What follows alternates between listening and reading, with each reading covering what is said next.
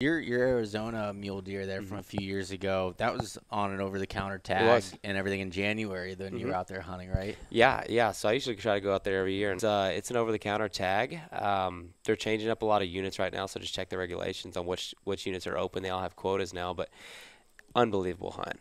Some of the best rutting action that I've ever seen in anything. Um, and I've hunted Kansas whitetail where they're rutting like crazy. But I mean, I'd see 50 deer a day and multiple bucks just locking up, grunting all the time. Um, and then just chasing. So I mean, this last year we were on a couple of two hundos, man, and we just couldn't seal the deal. But they were literally running too hard.